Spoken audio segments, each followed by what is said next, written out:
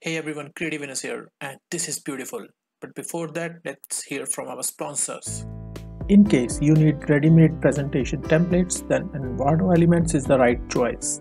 Browse through this amazing library of presentation templates for Google Slides, PowerPoint, and Keynote presentations. The slides are easy to edit and customize. Download the presentation, edit the slides, fill your text, change the images, and your presentation is ready. On Envato Elements, you can find amazing video templates, graphics, photos, 3D work, fonts, website templates, and much more. Subscribe to Envato Elements now and get unlimited downloads. Link is in the description.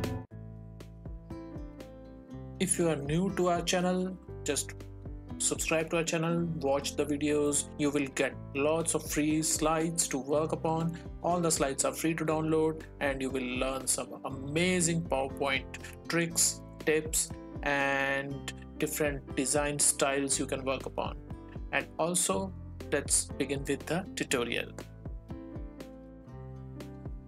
well in this design we have to create folders and you know how the folder looks in your laptop and we have to design that folder. But I would recommend not to design a very flat kind of a design. And here we will try to create a more beautiful a folder which has some layers over it some shine some glossiness and it, it it should have that depth a shadow effect.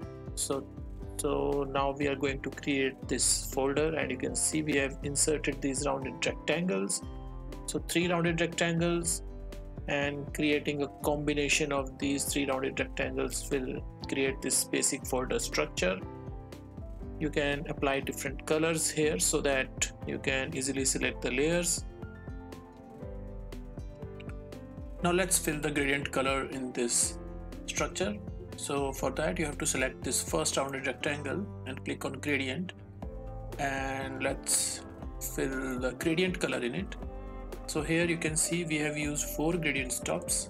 Let's see how it looks. Then we will decide upon the number of gradient stops. So here I think 3 will look fine. So make sure the gradient flow is from top to bottom like this. And on the top we have placed this color palette.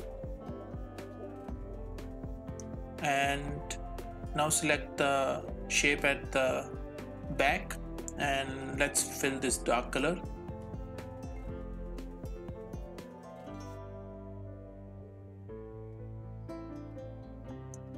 Let's pick this dark color from the color palette.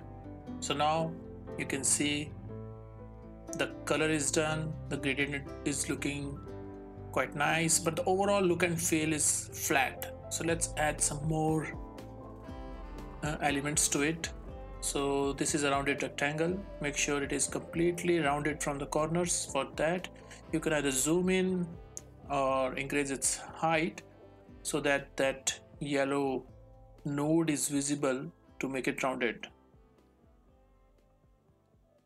Now fill the white color and increase the transparency above 65%. And let's do one more thing to add the glossiness to it, to add the light effect. Just duplicate this top layer and draw this circle. And we will create a shape out of it.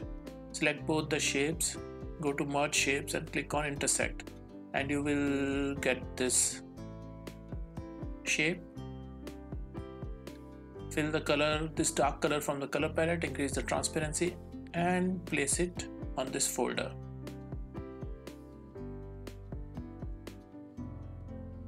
and send it behind this white shape at the bottom.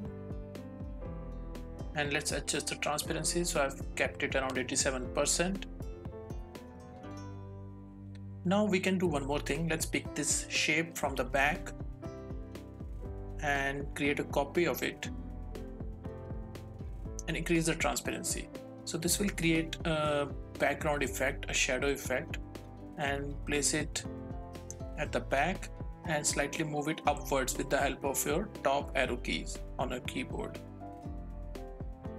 Now select all the shapes press ctrl G for grouping go to shadow apply the shadow effect increase the blur and the transparency.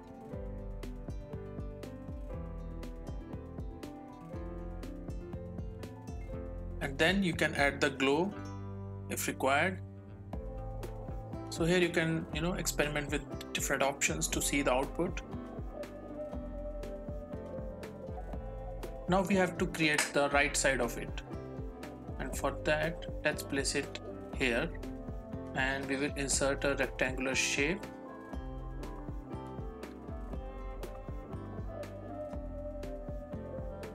And you can adjust the size. It depends upon the number of rows you have to create. So we will be creating four steps process. So insert this rectangle. And apply gradient fill. And remove any outline. Make sure the gradient type is linear from left to right. And we will increase the transparency to 100% for the gradient stop at the right. So that it blends with the background.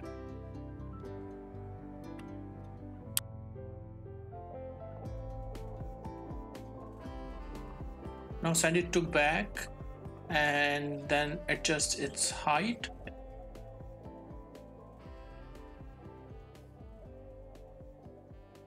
So the base shape is ready and this will be the main diagram that that we will create. So now let's add text which is pretty easy. You just need to insert the text box here and write the flow of the text. Like for example if this is the first step. So you can write either a or one or if you want to give some heading that's also fine. So this is totally dependent upon the kind of topic you have or the information you want to present. So you can definitely change the text boxes here.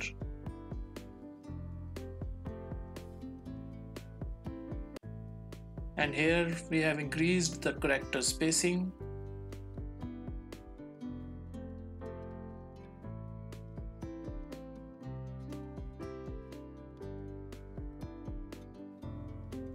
Now you can duplicate this text box and place it below the first text box. And let's change the text here. So here you can write either a or the numbering you want to show. For example 1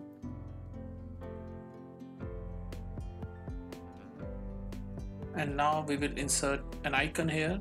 So this is just a dummy icon. Let's place it here.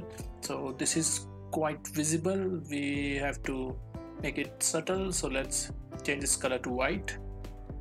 And on the remaining portion we can add the text boxes to create the text. And here we can place the heading and the subheading. Or if you have some numbers to showcase you can also do that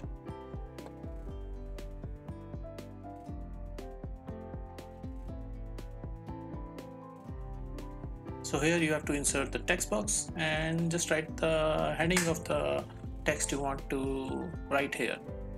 And make sure to use the a designer font or a very good looking font.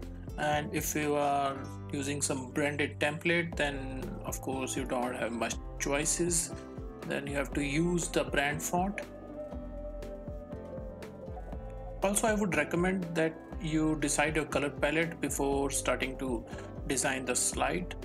And here we have placed the text box to write description. And for the description we are using a different font. It's a Raleway font. And you can also do that. You can keep a different font styles. Like for heading you can use a designer font. For description you can use a very corporate clean font. So you can play with that and make sure the text styling is uh, beautiful and and it, it, it is uh, very much readable easy to read in a slideshow mode. Now the slide design is done and the rest of the steps are pretty easy. You just have to duplicate these add some aesthetic elements add the title and then your slide is ready. So I haven't covered the remaining parts in this design because I want you to create your own style and your own designs. So here is the final output. Let's see the output on a full screen mode. And look at this. This is looking really nice. I hope you will like it. So please subscribe to our channel join the membership and we will see you guys in our next video. Till then enjoy and do not forget to subscribe